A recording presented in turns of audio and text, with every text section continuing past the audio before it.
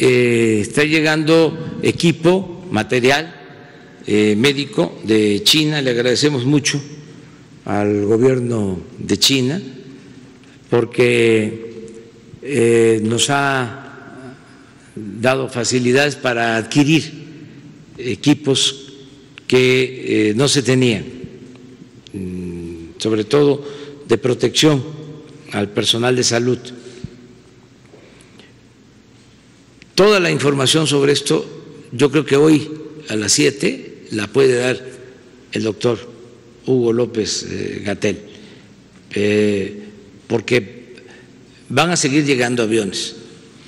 Eh, nos estamos preparando,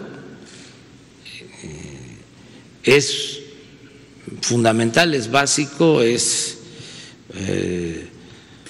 lo más importante, prioritario, el que tengamos las camas, los ventiladores, los médicos y todos los equipos, eh, que estemos completamente preparados.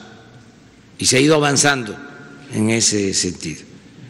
Y vamos a continuar.